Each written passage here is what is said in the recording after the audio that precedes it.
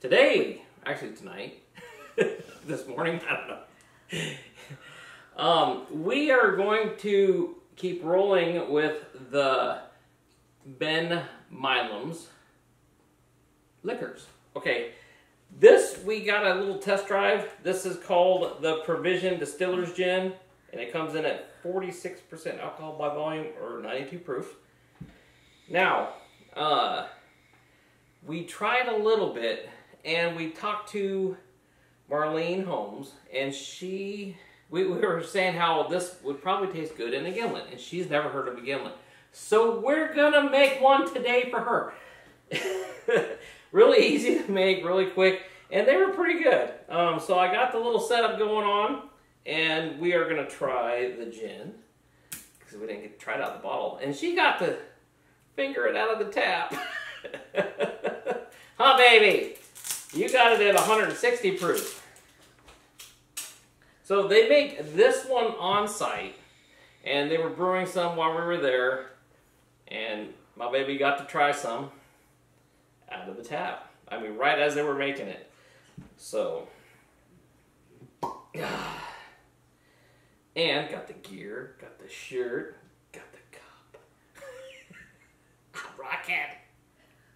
You do love it when you get to buy things. I get to buy things sometimes. Wow. Now with the with this gin, I, I never thought I would like gin, and this is the second one I've tried. But the flavors these have are just kicking. Um, they have juniper berry. I mean, she went on with the list that this has in it that just amazes me. Um, it it has juniper berries. It has uh, citrus rind. It has uh, red peppercorns. It has No, it wasn't red. It was pink peppercorns. pink peppercorns, and all kinds of stuff in this. But the flavors, I mean, just to smell the flavors in there, I mean, you pick up the juniper berries, you pick up. I get pepper, but nobody else does. I don't know why. um, but Marlene said one of the other guys there picks up the pepper, so it's not just me. We pick up the pepper. It must be a guy thing. Or she was just telling you that to make you feel better about yourself. she could have been. She's very nice. Um, but it's so clean smelling.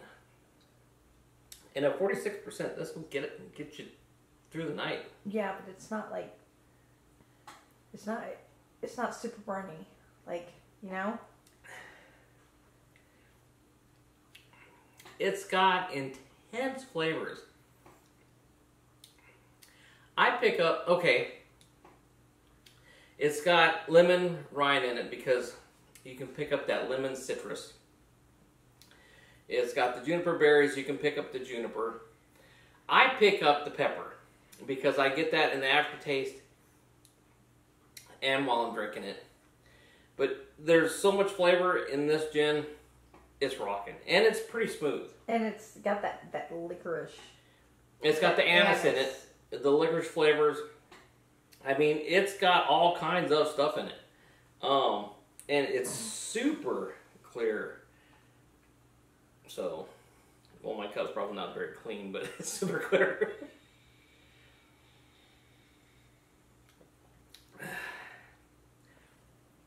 but it's a smooth. You can drink this totally straight and be fine and be on your merry way.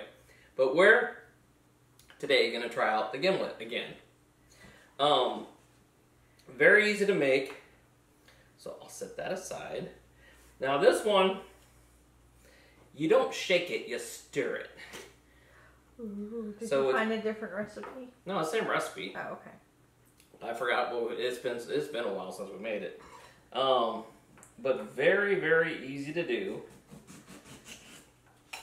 I, I think the last time you made it though, you used the squeezy bottle line. I never use a squeezy bottle. What are you talking about?" Right out the bottle.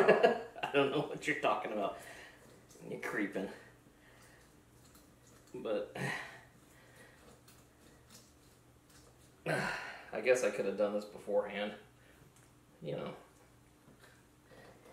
Honey, everybody wants to see you fight a lime. These are really fresh and crisp. They're not giving it up. Well, can I What? Can you what? can I give you a piece of advice? I'd say you come over here, but you ain't wearing pants. Take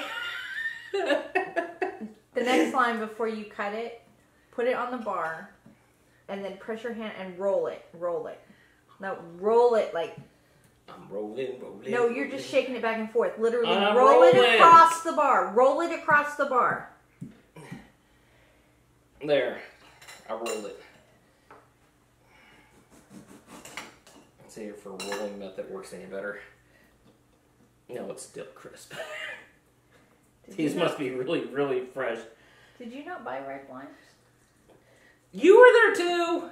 You wouldn't let me touch the limes. Because you were picking out the ugly limes. I don't like I was- ugly limes. I Okay. like good looking limes. I like squishier Oop. limes that have got juice in them. These got juice in them. They just don't want to give it up. They're like, no, Mr. Guy, I don't want to give up the juice. All right. So, this one, add some ice. There we go. And it's two ounces per cup. We're making this. We're gonna just gonna double it. So I'll just say what it says. Two ounces of the gin.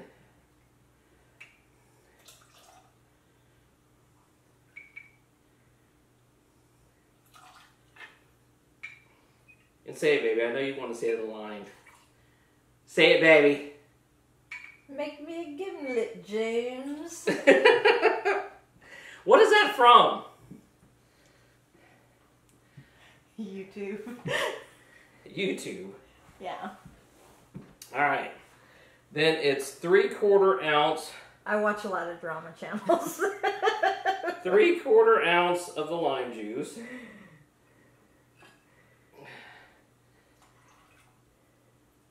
Hang on.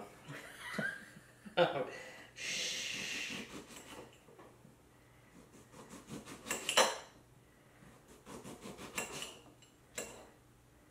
Okay, I need just a little bit more lime juice. No. well, if it's three quarters ounce twice, then it has to be an ounce and a half. Got that. I'm like a half ounce shy. this might be getting. Hang on. Ooh, homeboy came prepared.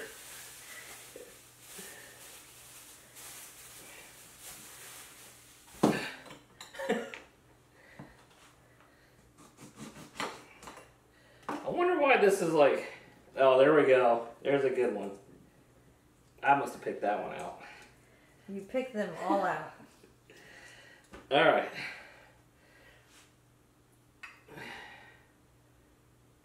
Look at that, perfect. All right, so much for that one. And simple syrup. Uh. Now I get to fight with this because I know it's been in the cooler. Okay. they give me a headache. It looks like it's got some crystallized sugar in it. Maybe. And we keep Shake it it cold. up. Shake it up really good. I did shake it. Shake it some more. Okay. And then three quarter ounce of the simple syrup, and we use the Ready Rabbit simple syrup. Ooh, it's so thick and creamy looking. Weird. You're a weirdo. All right. Say this is one of my favorite drinks. Yeah, believe it or not, we uh, tried this and didn't believe. We thought it was just tastes like a weird old guy drink. Well, yeah, because, you know, it's like 1930s or whatever. And they used to put meat in jello. So, and it says you gotta stir it like this, don't shake it. So I'm not sure exactly what that's all about, but sometimes I read directions. Ooh. And then we'll pull off.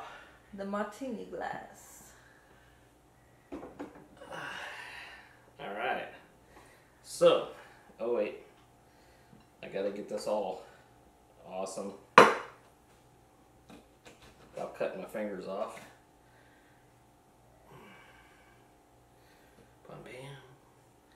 And bam. And then strain into the cup.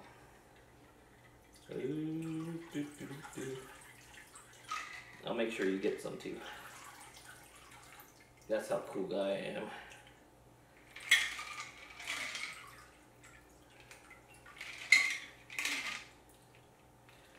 And look at that. And they said you can garnish it with a lime or with a cucumber. I like lime because, you know, hey, it's a lime.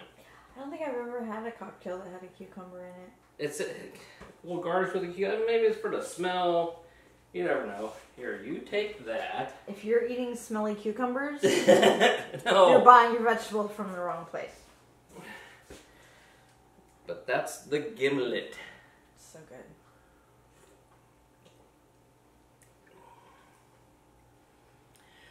Mm.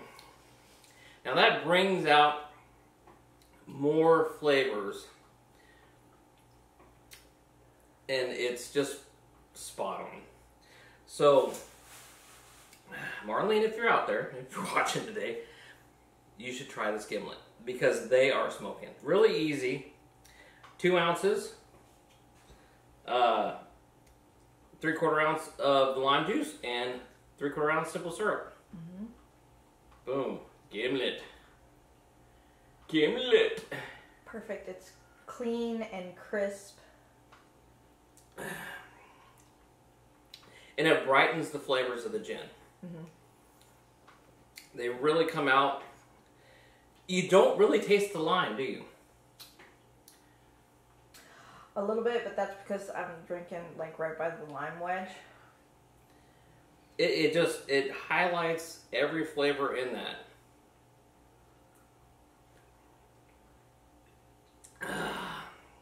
I like it. Mm. So that's what we got for today. We're gonna go have some of these since I already got it set up. Um, but we'll see you Wednesday. What do we got for Wednesday? A beer. A beer. Okay. we'll see you Wednesday with a beer. Thanks for watching, guys. Like, share, and subscribe, and we'll be back Wednesday. Thanks for watching, everybody.